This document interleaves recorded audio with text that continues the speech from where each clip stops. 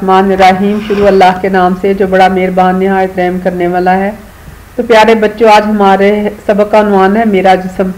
हम अपने जिसम के मुख्तलिफ़ हिस्से देखेंगे। मेरे जिसम को इंग्लिश में माई बॉडी कहते हैं और बॉडी पार्ट्स हम देखेंगे। हमारे एक सामने वाला होता है, चेहरा जिसपे होता है और एक बैक होती है या पिछला हिस्सा जिसपे सर आता है। तो सबसे हेड जो है, उसको उर्दू में सर कहते हैं।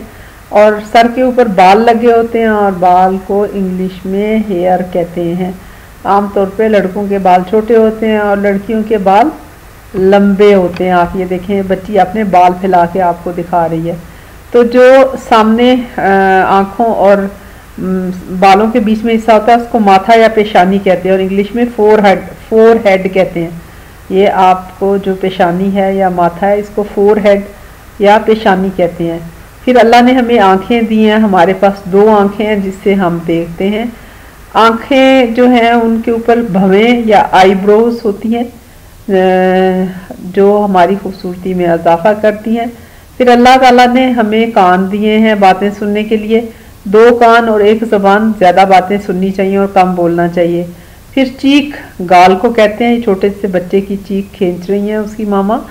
और ये जो ठोड़ी है, इसको चिन कहते हैं इंग्लिश में ठोड़ी जो ये चोंच होती है मुँह की ठोड़ी ठोड़ी को इंग्लिश में चिन कहते हैं। देखे बच्चा हाथ लगा के बता रहा है आपको। और फिर हमारे मुँह पे एक नाक होती है जिससे हम चीज़ें सूंघते हैं, नाक, नोज़।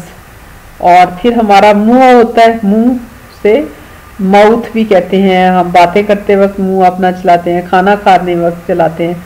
और मुँह के अंदर एक ज़बान होती है ज़बान की हिफाजत करनी चाहिए।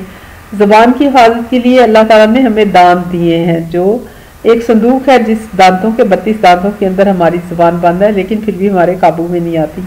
ये होंठ है जब हम मुँह बंद कर लेते हैं तो होंठ को लिप्स कहते हैं। तो लिप्स आ, फिर गर्दन आ जाती है। हमारा जिसम और सर जो है उसके दरमियान एक पतली जगह होती है जिसको गर्दन कहते हैं जिसे हम सारे इधर उधर घुमाते हैं। फिर हमारा कंधा होता है, कंधा हमारा जो ऊपर वाला बाजू है, उसका सबसे ऊपर वाला हिस्सा है। फिर हमारा सीना या छाती होती है, जिसको इंग्लिश में चेस्ट कहते हैं, और फिर हमारा पेट होता है, जिसको मैदा भी कहते हैं और स्टमक कहते हैं, जैसे जिसके ऊपर बैली बटन होता है और फिर ये कमर होती है वेस्ट जहाँ पे हमारा पजामा या पैंट जो है, जहाँ पे बेल्ट बांधते हैं, उस चीज़ को कमर या वेस्ट कहते हैं। फिर हमारी कोनी होती है, जिससे हमारा ऊपर वाला बाजू दोरा होता है, कोनी को इंग्लिश में एल्बो कहते हैं। ये कोनी है, इसने एक कोनी को करके दूसरी कोनी के नीचे हाथ रखा हुआ है। और ये जो ऊपर हमारे जो हैं, बाजू कहलाते हैं। बाजू के आगे हाथ लगा होता है, और ये कलाई होती है, इसको रिस्ट कहते हैं। इसीलिए जो हम कलाई पे घड़ी बांधते हैं, उसको रिस्ट वॉच कहते हैं। और जो हाथों की उंगलियाँ होती हैं, उन्हें हम फिंगर्स कहते हैं। हाथों की उंगलियाँ, ये हाथ है और हाथ की पाँच उंगलियाँ इसी तरह हमारी टांगे हैं, ऊपर वाले धड़ के बाजू होते हैं, नीचे वाले हम दो टांगों पे चलते हैं। और जहाँ से दरमियान से टांग दोरी होती है, इसको जोड़ को घुटना कहते हैं या नी जॉइंट कहते हैं। फिर एंकल या टखना जो है, हमारे पाँव और जो टांग है, उसके दरमियान जोड़ को कहते हैं। फिर हमारे फुट या पाँव आते हैं, अल्लाह ने हमें दो पाँव दिए हैं, फुट। और फिर जो पाँव की एड़ी है, उसको हील कहते हैं, हील और एड़ी। और पाँव की उंगलियाँ जो हैं, उनको इंग्लिश में टोज कहते हैं। और अंगूठा जो है, उसको बिग टो कहते हैं। ठीक है?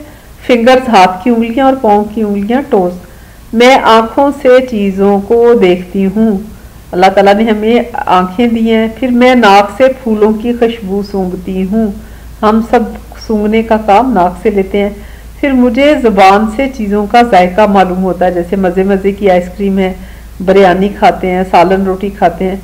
मैं हाथों से चीज़ों को महसूस करती हूँ कौन सी चीज़ नरम है कौन सी सख्त है कौन सी जो है वो आ, प्लेन है मुलायम है। मैं कानों से आवाज़ें सुनती हूँ जितनी भी मेरे इर्द गिर्द आवाज़ें हैं, वो कानों के ज़रिए पहुँचती हैं। तो ये इनको हवा से खमसा भी कहते हैं। यानी पाँच हवास जिसमें देखना, सूंघना, सुनना, बोलना, जायका चखना और हाथ से चीज़ों को महसूस करना। अब एक, आप एक्टिविटी करें, नमक, चीनी और लीमू का जायक की थोड़ी थोड़ी चीज़ें अपने जबान पे चख कर बताएँ, आपको चीनी से कैसा जायका महसूस होता है, नमक से और लीमू से। इसी तरह एक आप एक्टिविटी करें कि कपास लें थोड़ी सी फूल एक लें और ईंट को छुएँ और बताएँ आपने कैसा महसूस किया। यानी आपको कैसा लगा जब आप मुख्तलिफ़ चीज़ों को कौन सी चीज़ आपको नरम महसूस हुई कौन सी खुरदरी। तो बहुत शुक्रिया आपकी ये वीडियो देखने का। उम्मीद है आपको पसंद आई होगी।